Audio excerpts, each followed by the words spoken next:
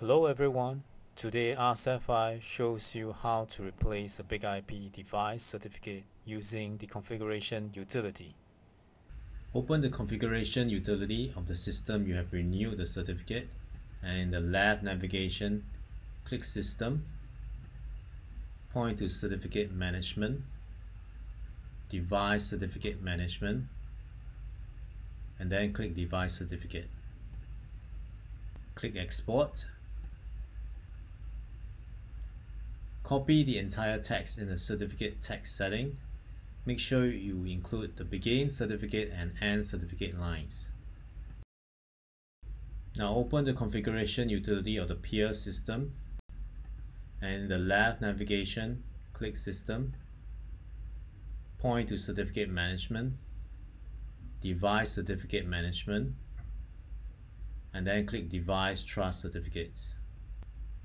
Click import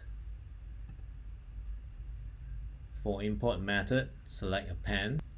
paste the copied cert from the previous system into the certificate source setting click import review the certificate properties to ensure that the re renewed certificate is successfully imported.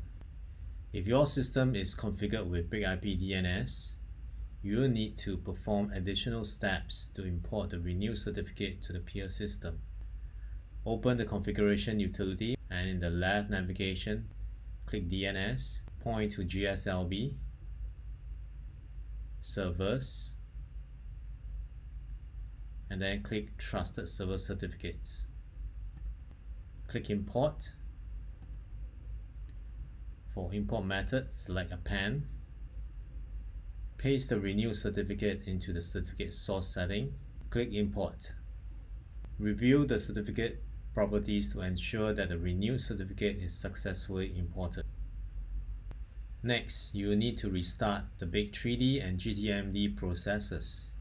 In the left navigation of the configuration utility, click System, and then services. Check big3d and GTMD and then restart. When the big3d and GTMD processes are restarted, you can verify the availability of both systems by che checking the iQuery communication st status. If the system is available, you'll be indicated by the green circle. You can find the status by clicking DNS, GSLB, and then select servers.